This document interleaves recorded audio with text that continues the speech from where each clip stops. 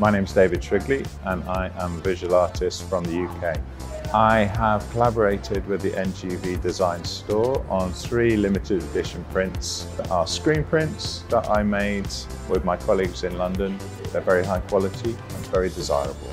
I decided to make three prints which have a loose relationship to the NGV, to Australia, to the project that I'm making here. They're images that I really like. It's nice for people to have some original art in their home. And I think as an artist, it's the ultimate flattery that somebody is prepared to buy your artwork and have it in their house.